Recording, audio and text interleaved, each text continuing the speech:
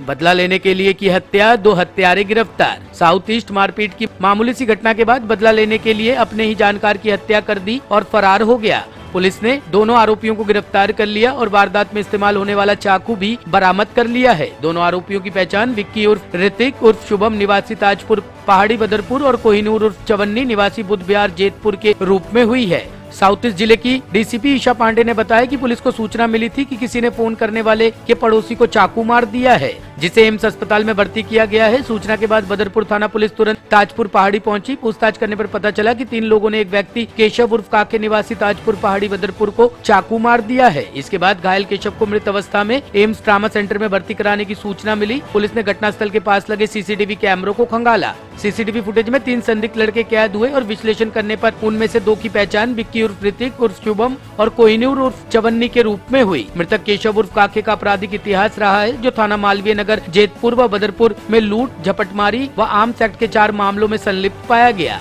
हत्यारों को पकड़ने के लिए पुलिस टीम का गठन किया गया। स्थानीय पूछताछ के बाद आरोपियों के मोबाइल नंबर ट्रेस किए गए। सीडीआर सर्विलांस के बाद मोलर बंद एक्सटेंशन बाईपास रोड स्थित एक शराब की दुकान के पास से आरोपी व्यक्तियों को गिरफ़्तार किया गया और उनके पास से अपराध में इस्तेमाल चाकू बरामद किया गया। उन्होंने अपराध में अपनी संलिप्तता कबूल की। पूछताछ में उन्होंने खुलासा किया की पीड़ित केशव का एक विवाह समारोह में आरोपी कोहिनूर ऐसी झगड़ा हो गया था और उसने अपने साथियों के साथ मिलकर उसकी पिटाई कर दी थी। इसलिए उससे बदला लेने के लिए उन्होंने उसे सबक सिखाने की योजना बनाई। आरोपी कोहिनूर पहले हत्या के प्रयास के मामले में शामिल है और आरोपी विक्की पहले हत्या के प्रयास और चोरी के दो मामलों में शामिल रहा है। पुलिस ने दोनों हत्यारों को गिरफ़्तार करके आगे की कार्रवाई शुरू कर दी है।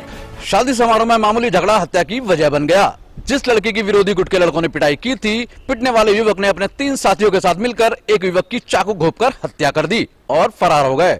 पुलिस ने दोनों हत्यारों को चाकू के साथ गिरफ़्तार करके भेज दिया है जेल। कैमरामैन हेमंत के साथ Rakesh Rawat top stories Delhi. Top story bureau के लिए दिल्ली से राकेश रावत की रिपोर्ट।